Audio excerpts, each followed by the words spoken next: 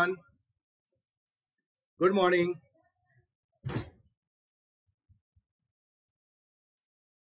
Welcome you to an academic platform.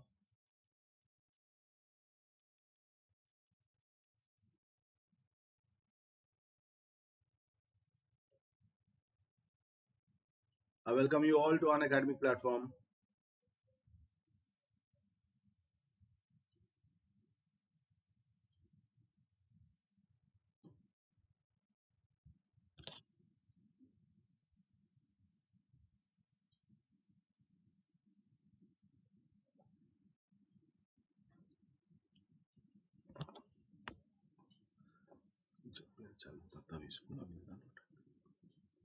We'll wait for a minute and so and then we'll resume our class.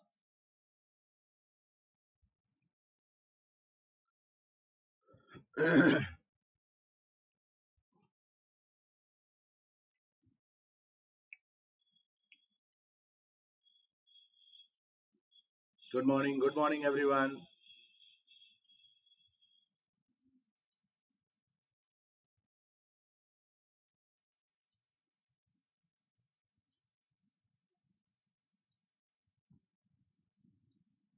Please wait for a while.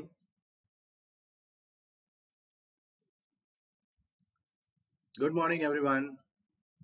Today we'll be discussing as we have completed. Good afternoon. Good morning, Pinky Dubey. How is your study going on?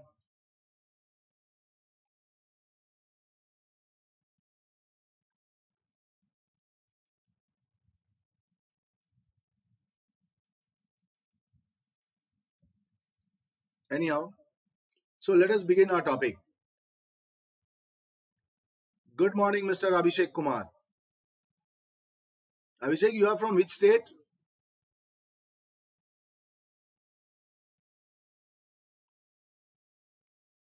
Pinky Dubey, you are from which state?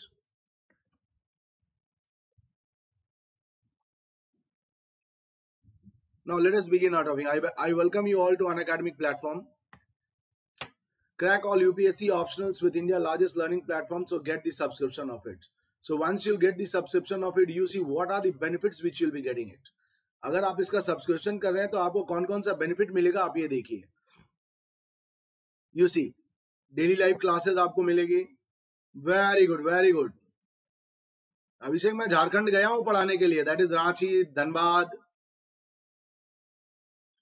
so daily live classes so daily live classes में आपको educator मिलेंगे। Engage करने के लिए you will be engage with educator discussion doubt and many more things आप अपने queries पूछ सकते हैं। अभिषेक दुबे, अभिषेक कुमार, आपका ऑप्शनल क्या है? You see, there are more than 15000 plus structural courses. There are more than 15000 plus structural courses. और सारे courses they are well structured. Live test and quiz. Live test and quiz is always there to evaluate the performance of learner. West Bengal Pinki Dubey हमको लगता है आप graduation कर चुके होंगे तो वेस्ट बंगाल जब भी स्टेट का नाम लिखते हैं कैपिटल लिखते हैं ना तो उसका कैपिटल लेटर से लिखते हैं। ये थोड़ा ध्यान रखना पड़ेगा। No live test and quiz are there only and only to evaluate the performance of learner so that before giving the exam exam देने से पहले वो अपने आप को इवैल्यूएट कर सके। अनलिमिटेड एक्सेसिबिलिटी अनलिमिटेड एक्सेसिबिलिटी का मतलब है कि अगर आपको डेली लाइव क्लासेस नहीं मिली तो आपको रिकॉर्डेड लेक्चर मिल जाएँगे। You will be getting recorded lectures okay and then you see you can download this app through Google Play in Android phone and Apple store in Apple phone okay then you see about me I have completed graduation from Calcutta University in science subjects and has an M in public administration from IGNOU University. I'm acting as a mentor for UPSC Civil Service for last 11 years and so in public administration, quality and governance. You see, I have appeared for UPSC Civil Service interview twice and have some many reputed as coaching institution at Delhi and many more states. Under my guidance, you see many aspirants have cracked UPSC Civil Service as well as many state level exams too. You see along with me मेरे साथ there are top hundred educator जो आपको educate करेंगे आपके dream को fulfil करेंगे। और आप इस स्लाइड में देख सकते हैं, चूँकि मैं पूरा नहीं लिख सकता, पूरे हंड्रेड एडुकेटर्स का तो नाम नहीं आ सकता। So there is the example of few educators you see, as i said, it provides more than 15000 plus courses, और ये 15000 plus courses आप देखिए polity governance international relation geography science and technology history optional courses तो यहाँ पे हम लोग बहुत ज़्यादा फोकस करेंगे ऑप्शनल कोर्सेज के ऊपर। Okay will be very much focusing on optional courses हम लोग ऑप्शनल पे ज़्यादा ध्यान देंगे। Okay and then you see जैसे कि आपको पता है as you all know that this courses can not be completed in one month three month और six month so it's better to get this subscription ये अच्छा होगा कि आप सब्सक्रिप्शन बारह महीने का लें ट्वेल्व महीने का लें या थर्टी सिक्स मंथ का लें। और देखिए, Unacademy two types of courses provide करती है। एक प्रोवाइड करती है प्लस कोर्सेज दूसरा प्रोवाइड करती है आइकॉनिक कोर्सेज तो अब देखिए प्लस कोर्सेज की जब हम बात करते हैं when we people are talking about plus courses जी, जब हम प्लस कोर्सेज की बात करते हैं तो प्लस कोर्सेज में आप देखिए, ये सारे बेनिफिट्स आपको मिलेंगे। और ट्वेल्व मंथ्स के फ़ीस जो है, ये ऑप्शनल आपका पब्लिक एडमिनिस्ट्रेशन है। This optional is public administration okay Sai Singh आपका कौन सा ऑप्शनल है? तो आप देखिए 12 मंथ्स के लिए अगर आप मेरा प्रोमो कोड अगर इन सब चीज़ों में if you are applying my promo code अगर आप मेरा प्रोमो कोड अप्लाई करते हैं that is M D Y T तो आपको टेन परसेंट डिस्काउंट मिलेगा। और इस टेन परसेंट डिस्काउंट से आप देखिए, आपके जो ये सारे जो फ़ीस स्लैब है, ये टेन परसेंट के हिसाब से रिड्यूस हो जाएँगे। ऑल विल बी रिड्यूस आप देखिए 90,000 it will come to 81,000 only when जब आप मेरा प्रोमो कोड अप्लाई करते हैं वो तभी होगा जब आप मेरा प्रोमो कोड अप्लाई करते हैं। कोई बात नहीं कोई बात नहीं। सोशोलॉजी और पब्लिक एडमिनिस्ट्रेशन लगभग सिमिलर है। कोई बात नहीं आप सोशोलॉजी के लिए ट्राई कर सकते हैं। Okay Sai Singh so you see then you see UPSC provides iconic courses और ऑल्सो और इस आइकॉनिक कोर्सेज में अगर आप देखें तो आइकॉनिक कोर्सेज में आप देखिए ये सारे बेनिफिट्स आपको एक्स्ट्रा मिलेंगे। That is personal coaching daily mains analysis study planner personal feedback ये चीज़ें आपको एक्स्ट्रा मिलेंगी। और देखिए 12 मंथ्स के लिए you can you see 69,500 fees है। But again if you apply my promo code अगर आप मेरा प्रोमो कोड अप्लाई करते हैं तो आपको 10 परसेंट की डिस्काउंट मिल जाएगी।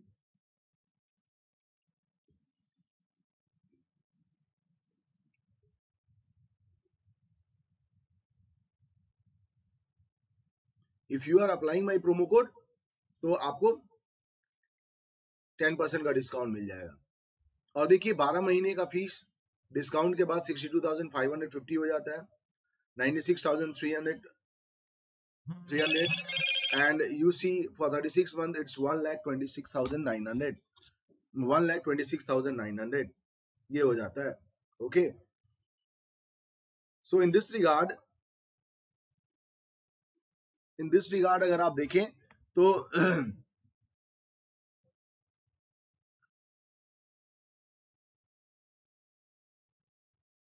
ओके okay, तो अब देखिए जब हम बात करते हैं in this regard when we talk about अब देखिए तो अगर आप 10 परसेंट डिस्काउंट चाहते हैं तो आपको एम डी वाई टी का प्रोमो कोड डालना पड़ेगा तो यू विल गेट डिस्काउंट आपको डिस्काउंट अब देखिए ऑप्शनल प्लान के जो सब्सक्रिप्शन के लिए आप देखिए क्या क्या बेनिफिट्स है. For one month you have to pay five thousand for six month so one month में कोई ऑप्शनल कंप्लीट नहीं होता ये आप जान के रखें. सो so, बेटर ये रहेगा कि आप ना सिक्स मंथ्स के लिए और twelve months it's better that you start with twelve months अगर आप ट्वेल्व मंथ्स का सब्सक्रिप्शन लेते हैं आपको फ़ीस पे करना पड़ता है twenty seven thousand five hundred और twenty seven thousand five hundred अगर आप प्रोमो कोड अप्लाई करते हैं तो twenty twenty four thousand seven hundred fifty हो जाएगा।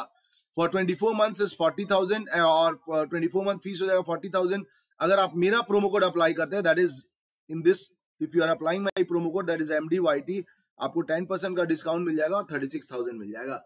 और थर्टी सिक्स मंथ में you see fifty thousand fees इस फिफ्टी थाउज़ेंड फ़ीस को फोर्टी फाइव थाउज़ेंड आपको टेन परसेंट डिस्काउंट मिल जाएगा। Okay so this is what we now to avail the benefits of 10 percent आपको 10 परसेंट का discount अगर चाहिए तो don't forget to mention my promo code M D Y T okay don't forget to mention my promo code M D Y T now as yesterday we discuss about the question answer so today will be starting with third paradigm of public administration हम लोग third stage of public administration को आज से, आज हम लोग करेंगे। Today will be doing with the third stage of public administration अब देखिए, जब हम लोग third stage of public administration की बात करते हैं when I am talking about third stage of public administration तो अब देखिए थर्ड स्टेज आया क्यों? First of all we should know that why there was an emergence of third stage. Okay? तो उसके लिए first of all we have to take one plain page and then I have to explain it. Please give me some time, my dear dearest. Sitting very farthest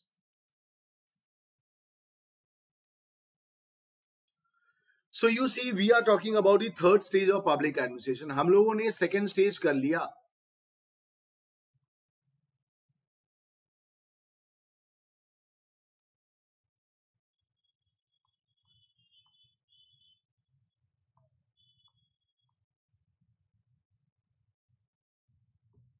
which starts for 1938 to 1947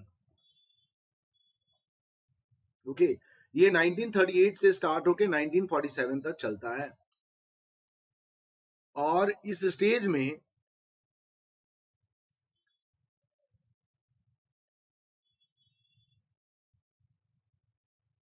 sorry you see इस stage में when we talk about stars so अब देखिए logically I am going to explain the logic behind it logic इसके पीछे क्या था? तो logically अगर आप देखें तो सेकेंड स्टेज जो है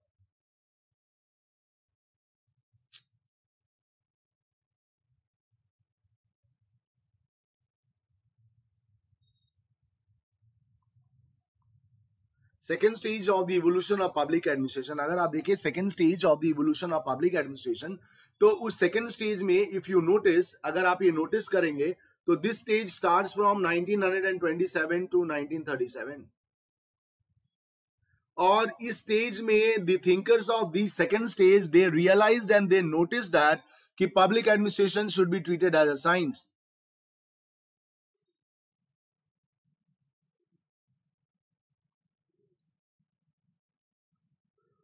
okay so in this stage it is being treated as public administration to be treated as science यानी पब्लिक एडमिनिस्ट्रेशन को साइंस का मान्यता दिया जाए they also says that they also says कि पॉलिटिक्स एडमिनिस्ट्रेशन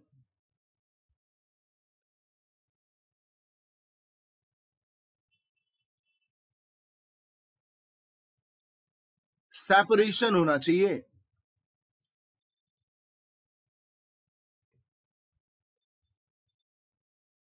ओके सेपरेशन होना चाहिए यानी पब्लिक एडमिनिस्ट्रेशन में पॉलिटिक्स बनाने यानी पॉलिटिशियन का काम केवल पॉलिसी बनाना है और एडमिनिस्ट्रेशन का काम उसे इंप्लीमेंट करना है दिस मस्ट तो सेकेंड स्टेज में many thinkers so in this second stage many thinkers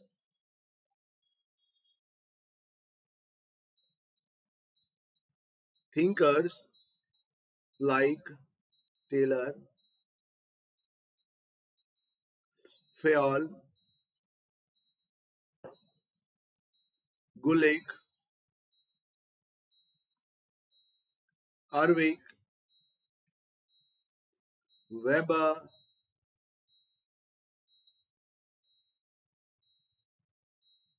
Mooney and Raleigh.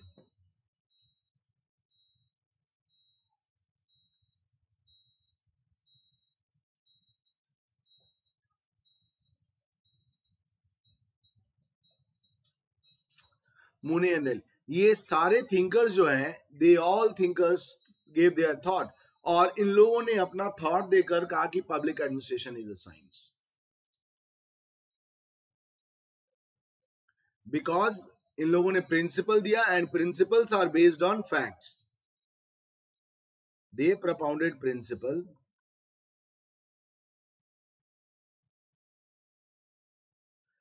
principles and these principles are based on facts as like science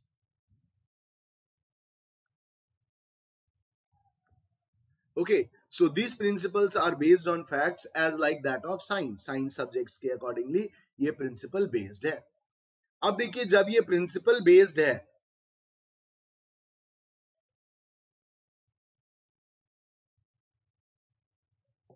जब ये प्रिंसिपल बेस्ड है, अगर ये प्रिंसिपल बेस्ड है तो अब देखिए इस प्रिंसिपल्स तो इसी ग्राउंड पर इन लोगों ने कहा। बट इसी सेकेंड स्टेज में in this second stage only you will see a theory given by Elton Mayo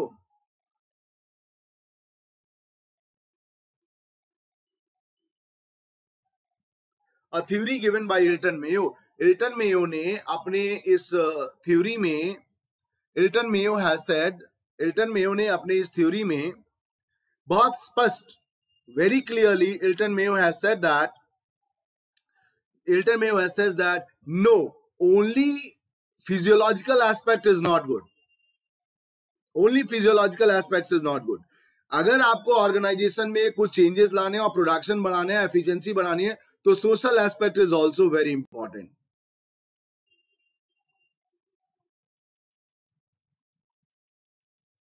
okay so social aspects is also very important and because of this you see it talks about social aspects of our तो मतलब humanity humans के बारे में and after this you see when we talk about the third stage third stage came into existence only when only because of Hilton Mayo क्योंकि Hilton Mayo ने उनके theory को रेलिवेंसीज देने से मना कर दिया कि इन public administration cannot be a pure science as like physics और chemist chemistry it is social science and social science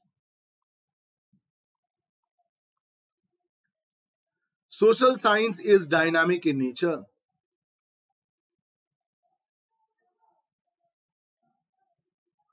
और डायनामिक का मतलब है सोशल साइंस इज़ डायनामिक मतलब it keeps on changing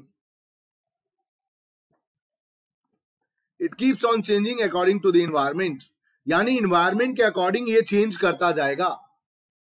और जब ये इन्वायरमेंट के अकॉर्डिंग चेंज करता जाएगा यू सी जब ये इन्वायरमेंट के अकॉर्डिंग चेंज करता जाएगा तो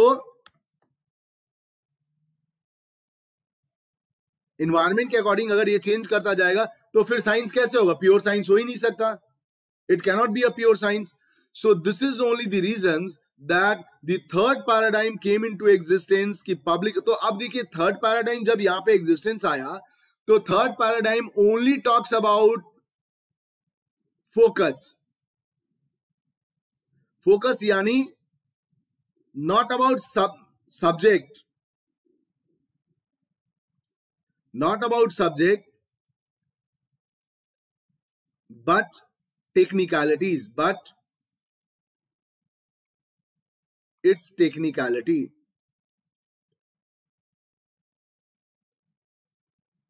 Okay okay, यानी उसके अंदर आपको नॉलेज क्या मिलेगी? उस नॉलेज के ऊपर इन्होंने डिमांड किया।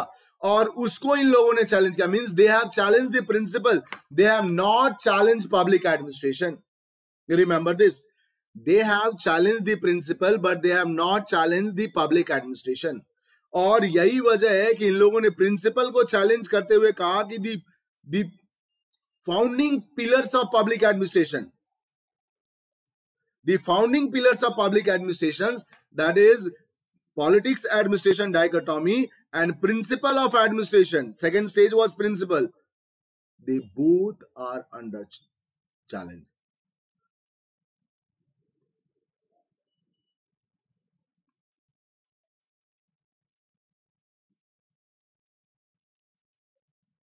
they both come under challenge.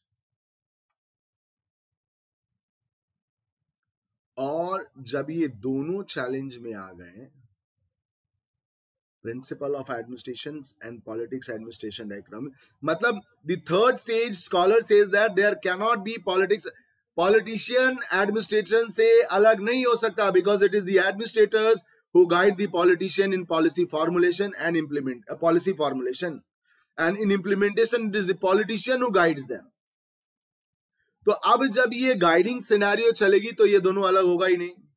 So this is also and the principle the principle they call it as proverb proverb का मतलब होता है वो कहावत है। और उसको भी इन लोगों ने निग्लेक्ट कर दिया कि this principle is not universal so science character of public administration should be neglected public administration is a science but it is a social science okay तो इस बेसिस पे आप देखिए कि they all talked about focus but nobody talk about locus यानी subject क्या है उसके बारे में they did not they never ever talked about it इन लोगों ने कोई टॉकिंग नहीं की that is why the third stage came, and the third stage is called era of challenges. You see.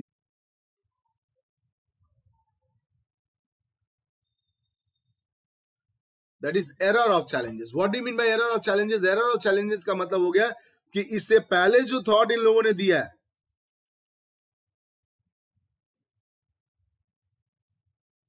that has been challenged the thought which they have propounded is it, it is being challenged उसे challenge कर दिया गया and that is why this stage is called era of challenge okay तो ये हम कहते हैं era of challenge का main motive ये था अब हम लोग आते हैं इसके कंटेंट के ऊपर now see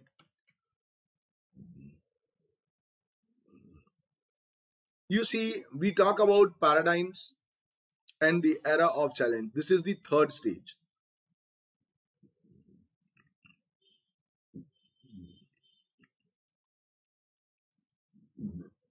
आप लोग देखिए फ़र्स्ट स्टेज और सेकंड स्टेज कर चुके हैं. Now we are passing to third stage Okay, now we are passing to this third stage. Or this third stage may you see what it says. What it says. Okay. Third stage may you see. Descendant from mainstream. Descendant from mainstream. Public administration accelerated in 1940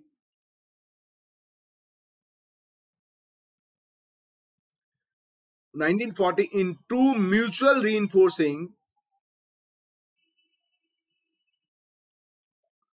direction. To mutual reinforcing direction. Yani to mutual reinforcing direction. One objection was that politics and administration could never be separated in any remotely sensible fashion. Yani kisi bhi kimat par. On any ground किसी भी हाल में public administration cannot be separated from politics and administration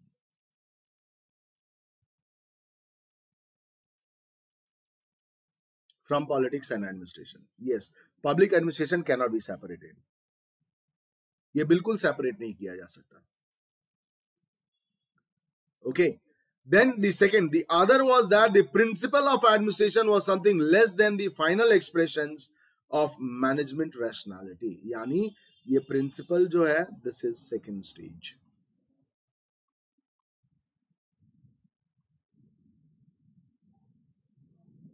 और ये politics and administration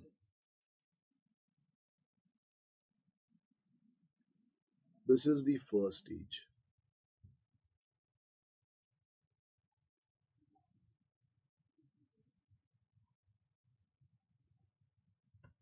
This is the first stage यानी आप देखिए कि फ़र्स्ट स्टेज में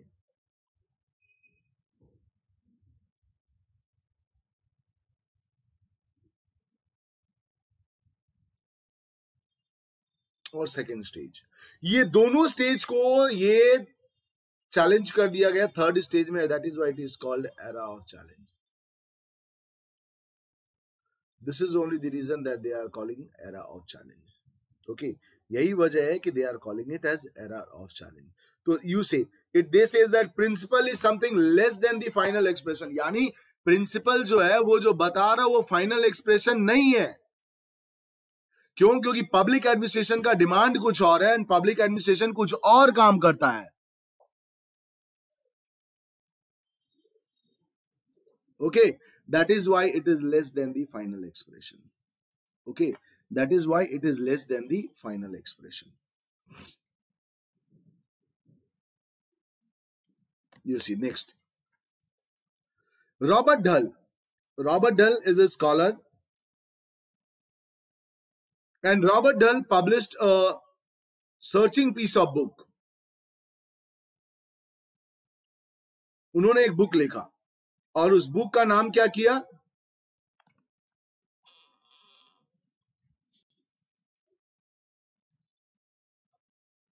यू कैन सी दैट कि उन्होंने जो बुक लिखा, उस बुक का नाम उन्होंने लिखा of public administration three problem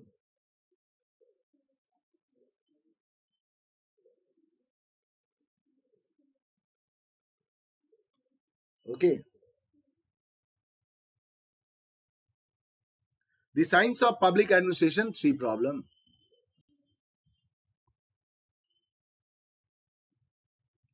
और उन्होंने देखिए इस थ्री प्रॉब्लम में, यानी Robert Dahl Robert Dahl talks about the science of public administration three problem और उन्होंने उस तीन प्रॉब्लम के बारे में बताया कि why public administration cannot be called as science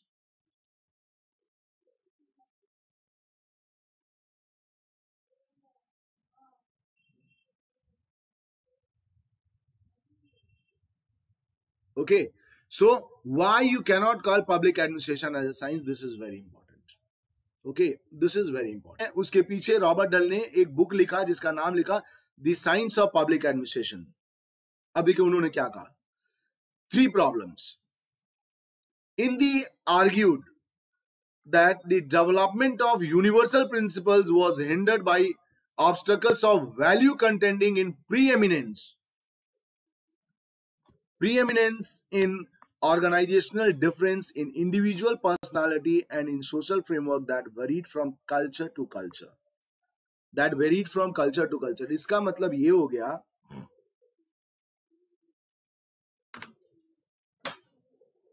you see इसका मतलब ये हो गया कि पब्लिक एडमिनिस्ट्रेशन जो है उसका जो कॉन्सेप्ट है यूनिवर्सल प्रिंसिपल ऑफ़ एडमिनिस्ट्रेशन ये universal principle of administration there is lacuna इसमें कमियाँ हैं।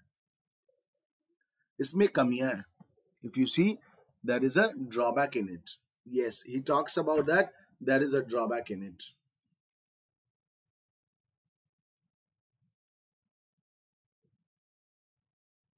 Yes, there is a drawback in it. और वो ड्रॉबैक क्या है? वो कमियाँ क्या है? That drawback is that drawback if you see that that drawback is value content in preeminence in organizations value means social aspects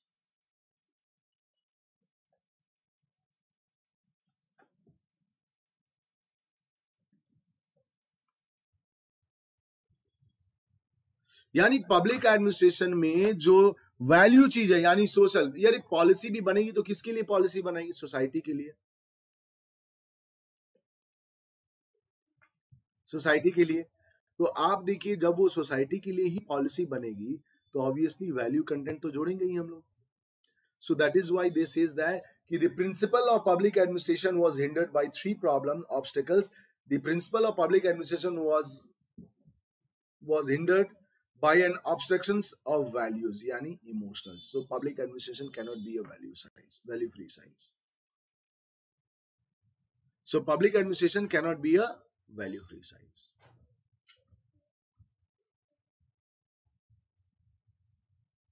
Cannot be a value free science.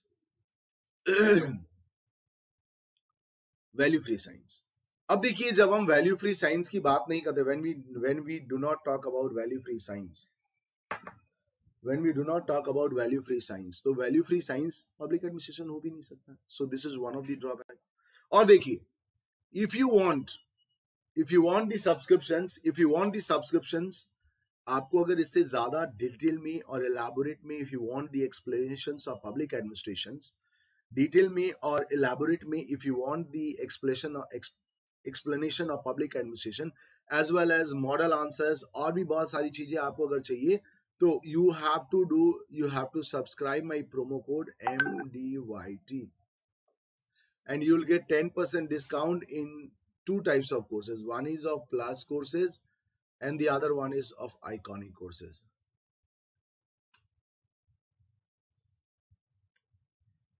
These two types of courses, if you want the benefit of these two types of courses, अगर आपको इस to types of courses के benefit चाहिए okay okay, तो आपको subscription करना पड़ेगा both में और there are special class available you can watch the special class of every faculty of every educator according to the time.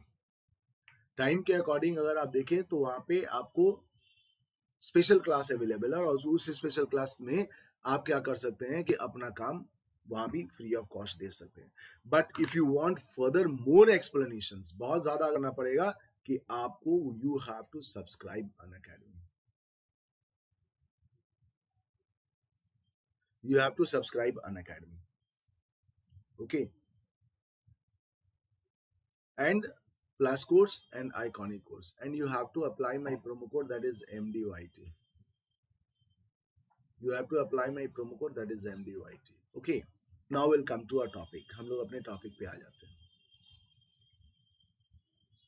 you see the renowned definition of focus the government bureaucracy but the corresponding loss of focus यानी आप देखिए corresponding loss of this will be locus it is not locus and focus so you make it locus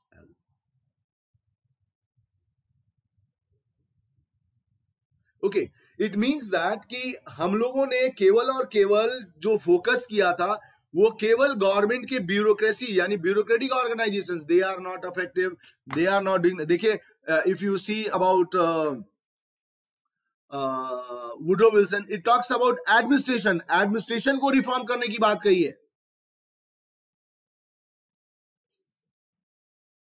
okay so woodrow wilson is talking about to reform the administration but if you see other scholars also they are also talking about how the administration should function they are also talking about how administration should function so so, इसका मतलब third paradigm में भी किसी ने भी pub, public administration क्या है उसके बारे में कोई बात नहीं किया। In third paradigm nobody talks about what is public administration and that is why it says that कि फोकस के बारे में सभी ने बात की यानी सब्जेक्ट के technicality specialization of subject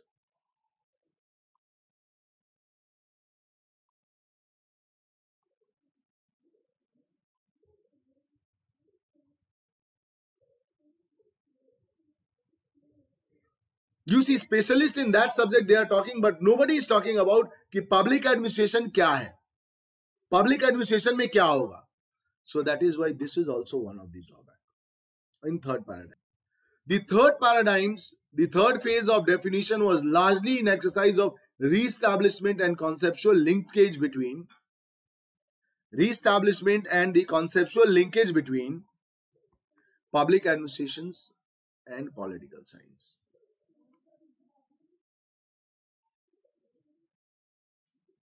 Okay so it means that there is the third phase the third phase of definition was largely in exercise of re-establishment of the conceptual linkage between public administrations and political science यानी third phase जो है वो क्या किया कि public administration और political science के linkage को बॉन्डिंग को और स्ट्रॉन्ग करने के लिए काम किया गया okay it talks about the bonding और the linkage of public administration. Okay okay, ये इसकी बात कर रहा थर्ड स्टेज यानी इस थर्ड स्टेज में पॉलिटिकल साइंस और public administration came very close to each other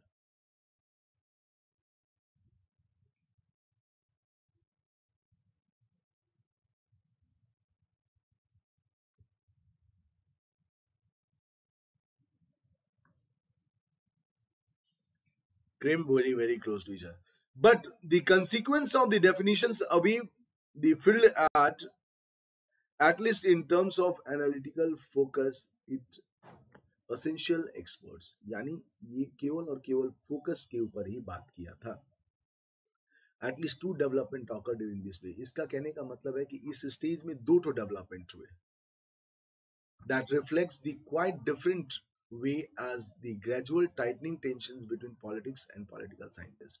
यानी इसमें दो डेवलपमेंट हुआ कि एक पब्लिक एडमिनिस्ट्रेशन और पॉलिटिकल साइंस दोनों अपने ही चीज़ों को प्रूव करने में लग गए they started proving their own things and that is why tension occur इन दोनों के बीच के टेंशन को दूर करने के लिए they started proving their thoughts the growing use of the case study in as an epistemic epistemological device and the fall of comparative and development administration as sub field of public यानी इस field में दो development क्या हुआ? दो development ये हुआ कि आप देखिए कि इस फ़ील्ड में कंपैरेटिव स्टडी की बातें करने लग गए लोग। People started talking about comparison in public administration और जब वो कंपैरिजन इन पब्लिक एडमिनिस्ट्रेशन करने लगे तो उन लोगों ने डेवलपमेंट के बारे में भी बात करने लग गए। उन लोगों ने डेवलपमेंट के बारे में भी बातें करने लग गए। और इसी डेवलपमेंट और इन लोगों का मानना है कि comparative public administration that is CPA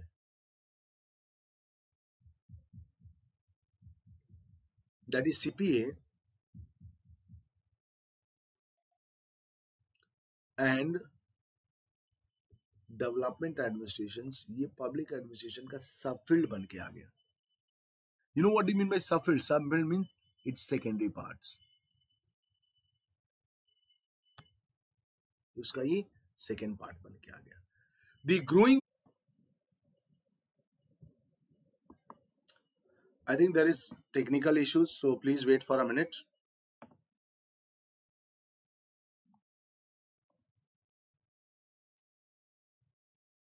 good afternoon Abhishek there was some technical issues आपको पता ही है कि थोड़ा टेक्निकल इश्यूज़ हो जाते हैं ओके नाउ सी तो अब आप देखिए कि जब हम लोग when we people are talking about the third stage तो इस थर्ड स्टेज में we people are talking about era of challenges तो अभी जो हम लोगों ने third stage when we people looked about third stage इससे पहले जो you see we have talked about this stage ये स्टेज के अंदर we people were talking about this stage about locus and focus यानी हम लोग लोकस और फोकस के बारे में बात कर रहे थे। अभी थर्ड स्टेज के बारे में ही लोकस और फोकस के बारे में बात कर रहे थे। Only in third stage But you see, when we talk about this stage, now we come to the development which occur during third stage. यानी इस थर्ड स्टेज में क्या क्या डेवलपमेंट हुआ है उसके बारे में will try to see okay will try to see this development during this so you see public administration as a discipline got major setbacks due to the advocacy of human relation approach यानी second stage में ही Elton Mayo ने अपना human relation approach दिया था। उससे major setback हो गया पब्लिक एडमिनिस्ट्रेशन को। सबसे ज़्यादा प्रॉब्लम आ गई। And you see so you see public administration human relation theory human relation approach it gots major setback okay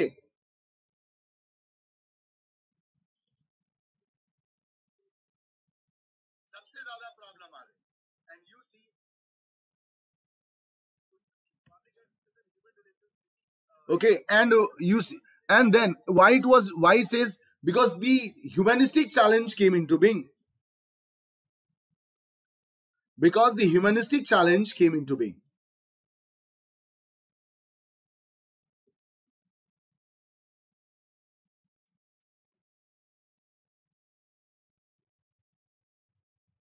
And this humanistic challenge was given by none other than Elton Mayo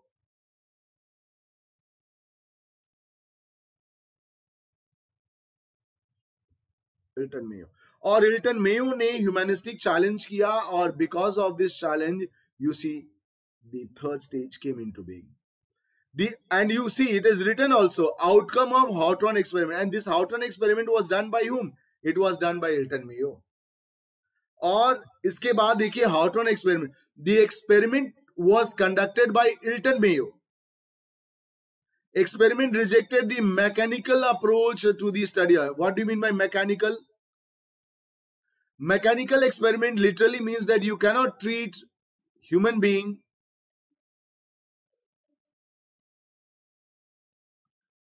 as you cannot treat human being as cog in a machine. Human being as a cog in a machine. Okay and you see that is why it rejected the mechanical yani factual approach facts fact based principles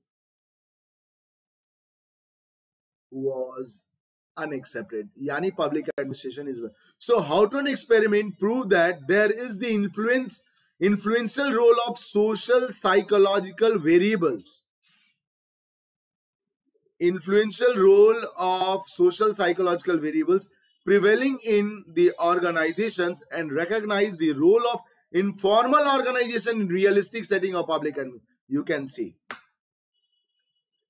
आप इसको देख लीजिए कि इसके अंदर कहा जा रहा है कि हाउटोन एक्सपेरिमेंट में उन्होंने प्रूव करके दिखा दिया that is who is that it is we are talking about Dilton Mayo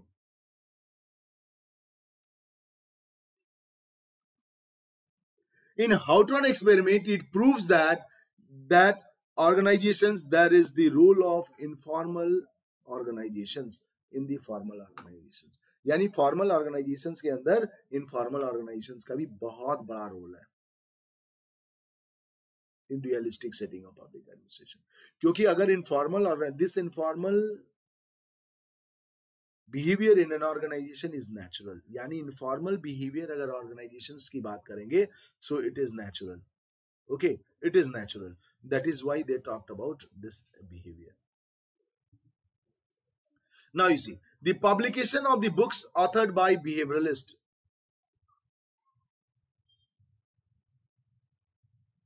अब बिहेवियरलिस्ट ने जो बुक पब्लिश किया you see some scholar criticise the discipline of public administration as a physical science due to lack of universality, objectivity and predictability.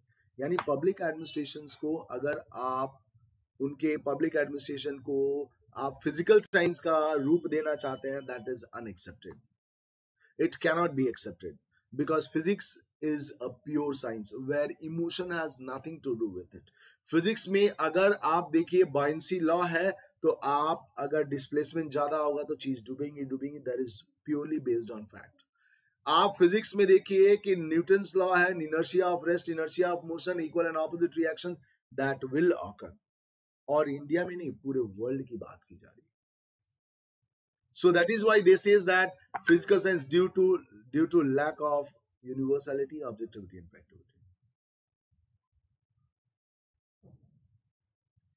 So the important book publish अब इस time में important books क्या क्या publish किया गया that is function of executive Chester Barnard The Provo War Administration, 1947, by Simon.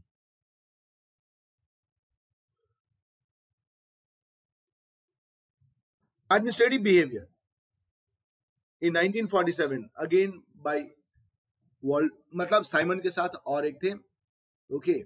So 1947. Science of public administration three problem in 1947 by Robert Dahl that we have discuss okay ये हम लोगों ने ये, ये हम लोगों ने डिस्कस अभी किया so public administration as a discipline in this was criticized by dilution of Wilsonian dichotomy.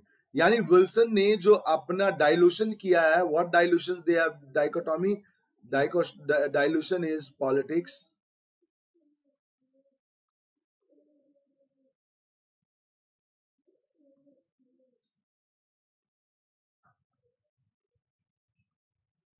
so so, ये पॉलिटिक्स एडमिनिस्ट्रेशन डायकोटॉमी नहीं हो सकता।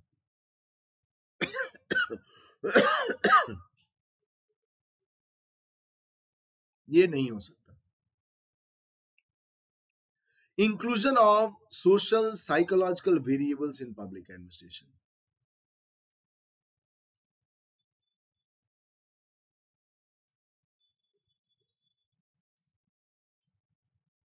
okay number one so second one inclusion of social psychology यानी value free science you can not say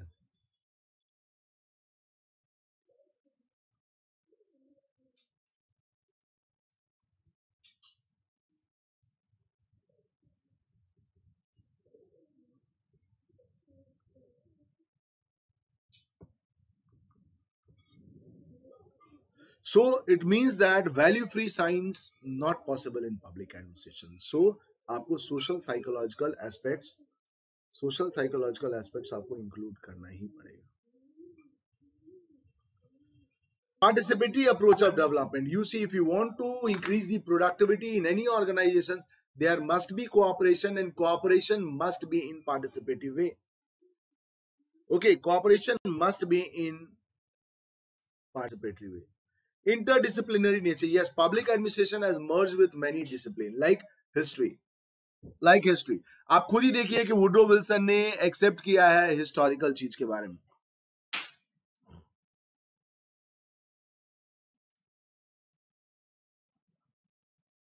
because because you see interdisciplinary listenery means nature of public administration मतलब जैसे वुल्डो Wilson ने कहा historical aspect तो historical का मतलब होता है कंपैरेटिव कि इस देश में क्या चल रहा है एडमिनिस्ट्रेशन दूसरे देश में क्या कर रहा है।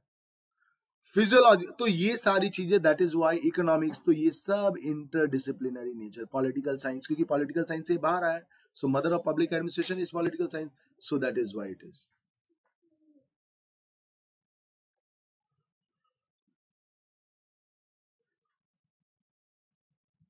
now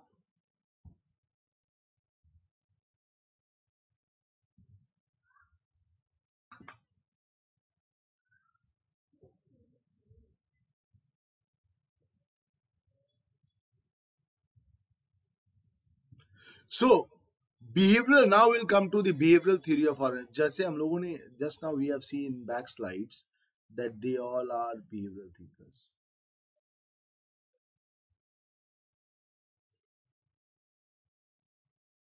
And we'll be discussing it one by one.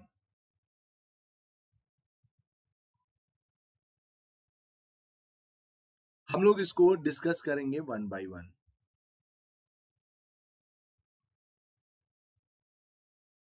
Okay.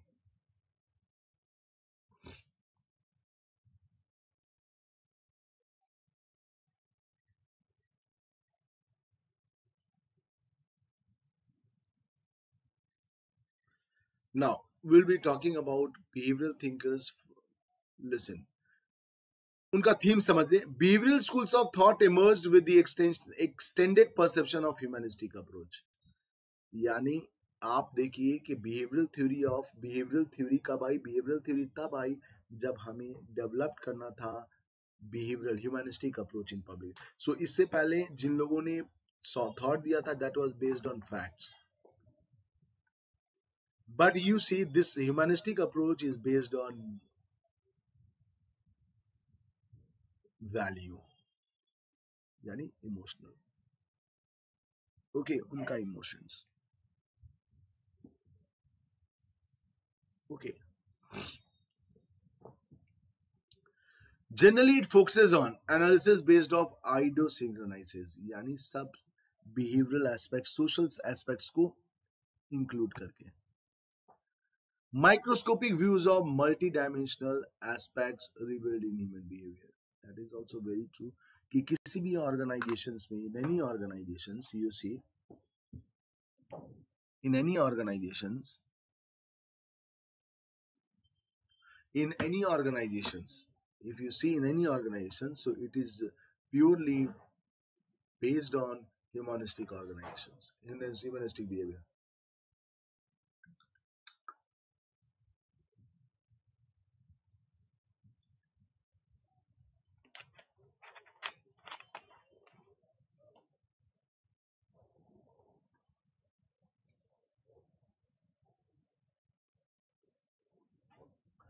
Then you see fusions of formal into informal aspects of organizations. Yani fusions of formal into informal organization.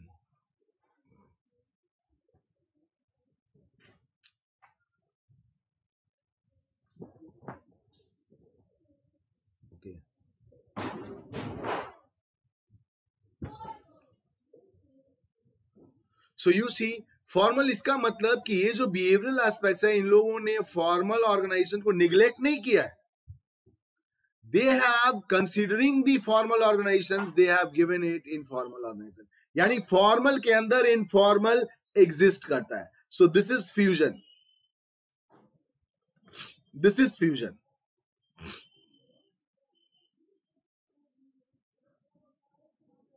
okay so according to many scholars behavioral schools is a subject of human relations only And मैंने आपसे पहले ही कहा था ना मैंने आपसे पहले ही कहा था कि ह्यूमन रिलेशंस को बेस मान के किया गया है hot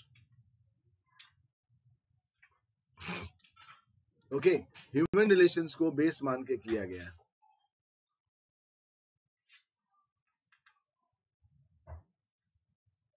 So Hilton Mayo is regarded as the initiator of behavioral is behavior is that and is that later developed by many thinkers including Bernard, Simon, Agaris, McGregor, Robert Dull, Rensis Likert, etc.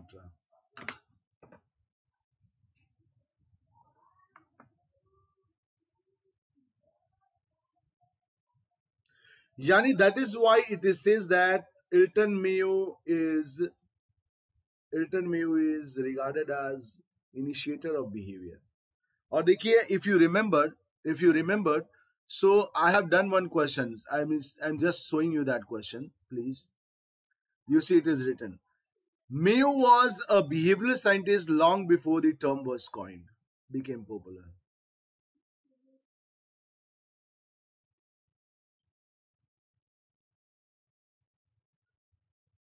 You see, Mayo was behavioral scientist long before the term was coined. Um, now you see why it is.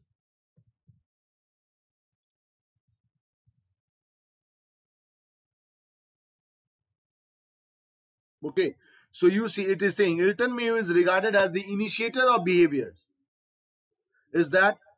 Later it was developed by others. Yani Bernard so there are many scholars You see important exponent of Chester Ivory Bernard.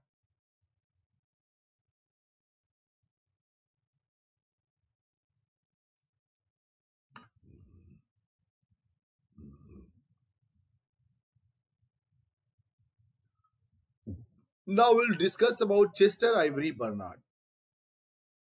हम लोग Bernard के बारे में बात करेंगे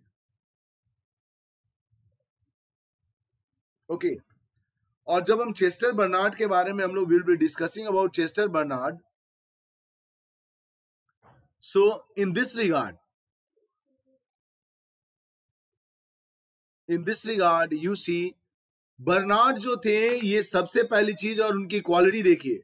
he was उन्होंने कभी graduation ही नहीं किया बैचलर डिग्री भी नहीं लिया उन्होंने। उनको seven doctorate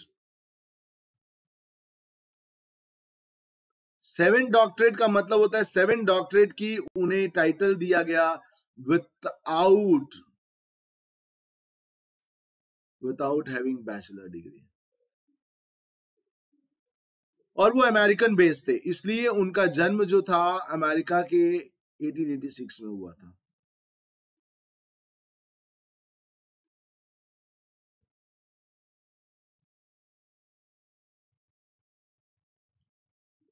Okay. His organizational principle based upon personal experience with public organizations. His organizational principles are based upon personal experience with public organizations. However, however, Bernard was highly influenced by Mary Parker Follett. अब देखिए हम लोग मेरी Parker folate भी कर चुके हैं Barnard जो है Barnard you see Barnard when we talk about Barnard तो बर्नार्ड जो है, वो मेरी पार्कर फॉलेट से ज़्यादा इन्फ्लुएंस थे। एल्टन मेयो तो थे ही बट मेरी पार्कर फॉलेट से वो ज़्यादा इन्फ्लुएंस थे।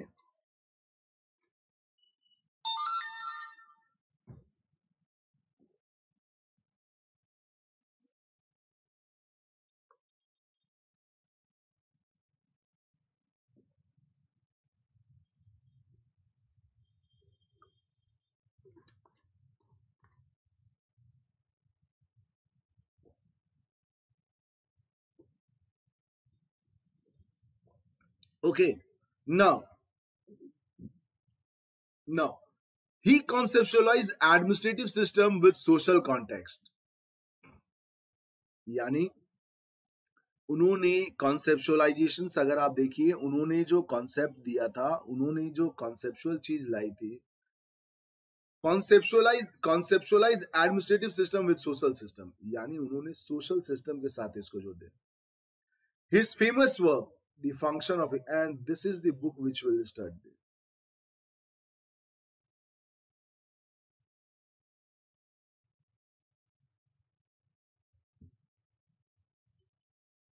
So the function of executive, his book is very nice. And last year also, आप देखिए कि इससे क्वेश्चन पूछा गया।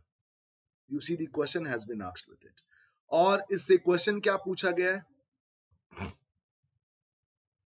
इससे क्वेश्चन पूछा गया है कि function of executive is function of executive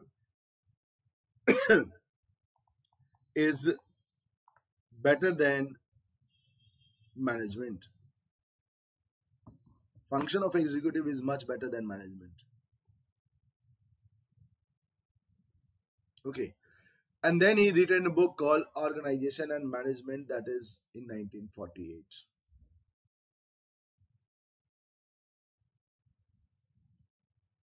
now theoretical contributions of bernard